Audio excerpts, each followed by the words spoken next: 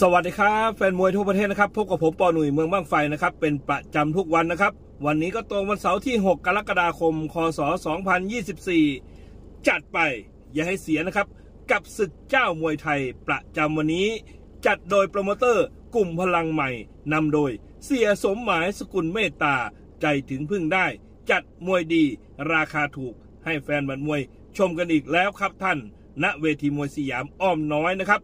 ช่อง 3 ยิงสดถึงบ้านท่านในเวลาเที่ยง 15 เป็นต้นไปนะครับ ไม่เสียเวลานะครับ เราไปดูคู่ที่ 1 ในรายการกันเลยครับ มาดูคู่ที่หนึ่งในรายการศึกเจ้ามวยไทยประจำวันนี้เลยนะครับ เป็นการพบกันระหว่างทางด้านเบอร์หนึ่งสอสละชีพ หรือกุมารทองปอปูนซิ่ง หรือยอดกุมารปอปูนซิ่ง หรือลูกเจ้าพ่อกุมพักกันนะครับ เป็นนักชกจากอำเภอเฉลิมพระเกียรติ จังหวัดสระบุรี ซ้อมที่ค่ายมวยลูกเจ้าพ่อกุมพักกัน ที่จังหวัดสระบุรี น้ำหนักไปปล่อยอยู่ที่ 52 กิโลกรัมนะครับ วันนี้เจอกับทางด้านก้านรงพันพินิษหรือตู่ท่าแซะยาสัตว์ครับเป็นนักชกจากอำเภอท่าแซะจังหวัดชุมพรซ้อมที่ค่ายมวยพันพินิษที่จังหวัดชุมพร น้ำหนักไปปล่อยอยู่ที่ 53 กิโลกรัมวันนี้ชกกันในพิกัด 111 ปอนด์นะครับ เมื่อเช้านี้ทางด้าน เบอร์หนึ่งส.สละชีพชั่งน้ำหนักได้ 111 ปอนด์เท่าพิกัดพอดีนะครับ ส่วนทางด้านก้านรงพันพินิษก็ชั่งน้ำหนักได้ 111 ปอนด์เช่นเดียวกัน ครับนี่คือการชั่งน้ำหนักเมื่อเช้านี้ของทั้งคู่ ที่เวทีมวยสยามอ้อมน้อยนะครับสำหรับสไตล์การชกของทางด้านก้านรงพันพินิษนะครับ ก็เป็นมวยสูงยาวเข่าในเหนียวแน่น ปั้มตี แข็งแกร่งแข็งแรงขวางหน้า แทงทาดทะเลหดดี ครับนี่คือสไตล์การชกของทางด้าน ก้านรงพันพินิษนะครับ ส่วนฟอร์มหลังล่าสุดนะครับ ไปชนะคะแนนเพชรเกียงไก่จิตเมืองนนท์เมื่อวันที่ 25 พฤษภาคม 2567 ที่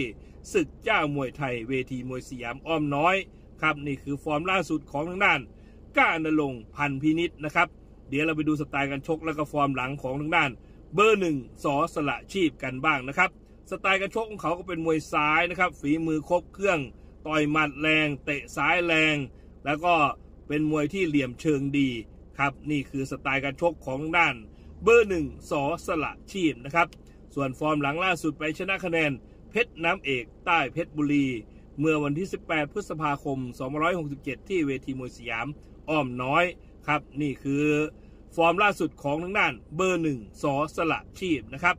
สำหรับมวยคู่ที่หนึ่งในวันนี้นะครับ ผมชอบไปที่ทางด้านเบอร์หนึ่งส.สละชีพนะครับ จัดไป อย่าให้เสียนะครับ ไปดูคู่ที่สองกันต่อครับ มาถึงคู่ที่ 2 ในรายการ ซึ่งเป็นคู่รองน้องคู่เอกในวันนี้นะครับ เป็นการพบกันระหว่างทางด้าน สิงห์มณี สุรศักดิ์มนตรี หรือเพชรเมืองปานบำรุงสิทธิ์หรือ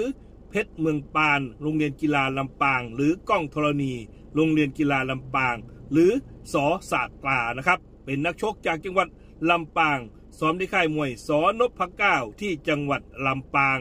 น้ำหนักปล่อยๆอยู่ที่ 58 กิโลกรัม วันนี้เจอกับทางด้าน ขุนศึกเอิร์ธอขวัญเมือง หรือชื่อเดิมก็คือเจ้าเวีย เอนนี่มวยไทย หรือวิเศษเล็กสออัธชัย หรือปอปัญญาวัฒน์นะครับ นักชกจากอำเภอวิเศษ วังวิเศษนะครับ จังหวัดตรังซ้อมในค่ายมวยสอสมหมาย ย่านบางกะปินะครับ โดยมีเสียสมหมาย แล้วก็เสียกรุงเทคโนให้การสนับสนุน อย่างเต็มที่น้ำหนักปล่อยอยู่ที่ 57 กิโลกรัม วันนี้ชกกันในพิกัด 120 ปอนด์ เมื่อเช้านี้ทางด้าน สิงห์มณี สุรศักดิ์มนตรีชั่งน้ำหนักได้ 120 ปอนด์ เท่าพิกัดพอดีนะครับ ส่วนทางด้านขุนศึกเอิร์ธอขวัญเมืองชั่งน้ำหนักได้ 120 ปอนด์ เช่นเดียวกันนะครับ นี่คือการชั่งน้ำหนักเมื่อเช้านี้ของทั้งคู่ที่เวทีมวยสยามอ้อมน้อยนะครับ สำหรับสไตล์การชกของด้านขุนศึกเอิร์ธอขวัญเมืองนะครับ เป็นมวยเข่าในเหนียวแน่นครับขวางหน้าดันแทงฝีมือครบเครื่อง ยืนระยะมั่นคงครับแล้วก็เป็นมวยเจ้าบ้านครับนี่คือสไตล์การชกของทางด้าน ขุนศึกเอิร์ธอขวัญเมืองนะครับ ส่วนฟอร์มหลังล่าสุดนะครับ ไปแพ้คะแนน กิจมณีสวนจากคาเฟ่เมื่อวันที่ 1 มิถุนายน 2567 ที่เวทีมวยสยามอ้อมน้อยศึกจ้าวมวยไทยนะครับ นี่คือฟอร์มล่าสุดของทางด้าน ขุนศึกเอิร์ธอขวัญเมืองนะครับ เดี๋ยวเราไปดูสไตล์การชกแล้วก็ฟอร์มหลังของทางด้าน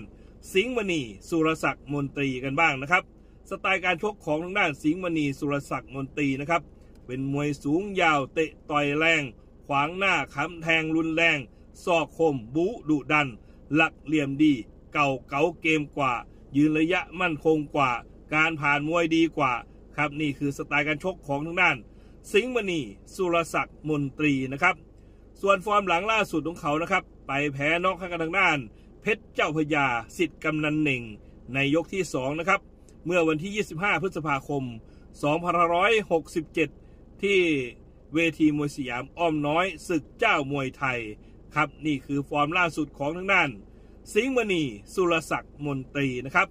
สำหรับมวยคู่ที่2นะครับซึ่งเป็นคู่รองน้องคู่เอกในวันนี้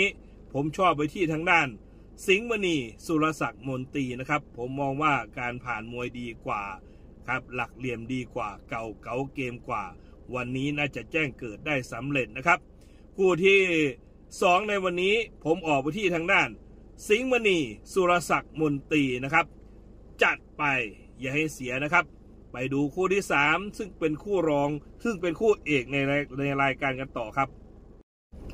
มาถึงคู่ที่สามในรายการนะครับ ซึ่งเป็นคู่เอกในวันนี้เป็นการพบกันระหว่างทางด้านนพเดชชห้าพยักษ์หรือเจ้าม้าเหล็กแดงเขาทราย หรือนพเดชเล็กสิทธิ์ก้องสยามนะครับ นักชกจากจังหวัดสุรินทร์นะครับซ้อมที่ค่ายมวยชห้าพยักษ์อยู่ที่ลำลูกกาคลอง 8 หลังวัดธัญผลนะครับ อยู่กับเสียพุทธชห้าพยักษ์แล้วก็เสียชายสุขโขทัยแล้วก็มีเทรนเนอร์คู่ใจอย่าง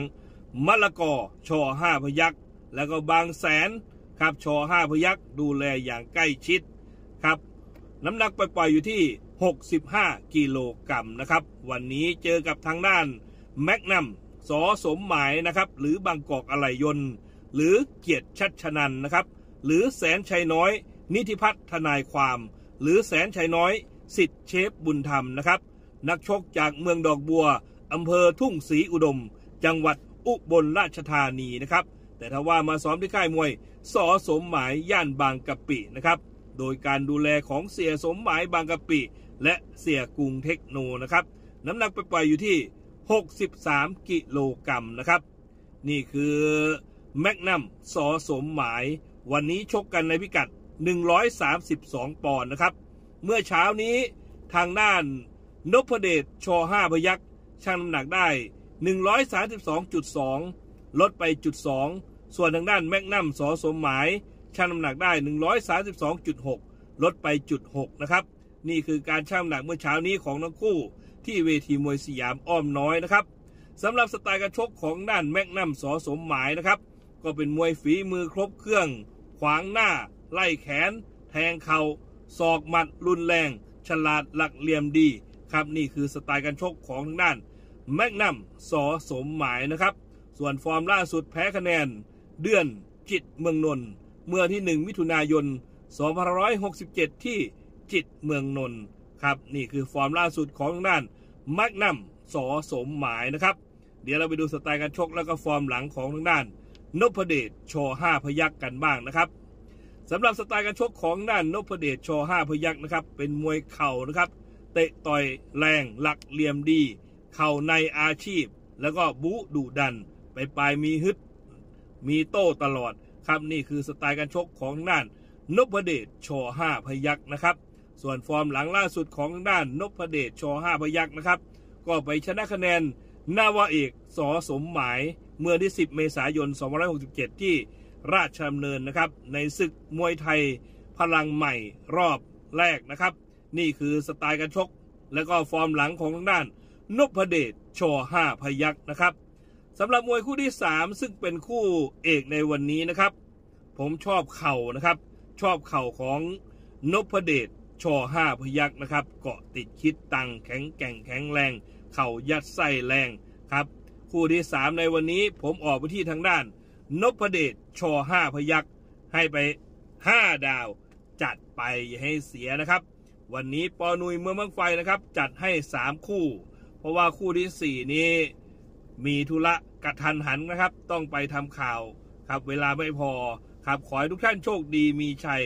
เฮงเฮงรวยรวยนะครับ สวัสดีครับ